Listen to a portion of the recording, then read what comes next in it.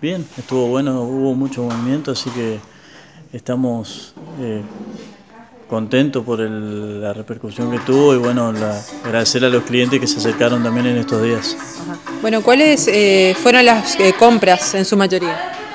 Y mira, hubo, hubo muchos pedidos de diferentes, diferentes rubros, se vendió mucho lo que tiene que ver con muebles, que tiene que ver también con el Día del Niño, aprovecharon esos primeros días para para poder comprar ese regalo para los chicos, así que en eso en esos dos rubros hubo, bastantes ventas, digamos.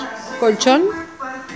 También, también hubo, hubo venta de colchón, de somier, de juego de living también, así que de celulares y esas cosas que son, digamos, eh, las, cosas que la gente más está esperando en estos días, ¿no? Aprovechar la oferta. Bueno, hablando de, de esto, estas jornadas, la modalidad de pago que prevaleció.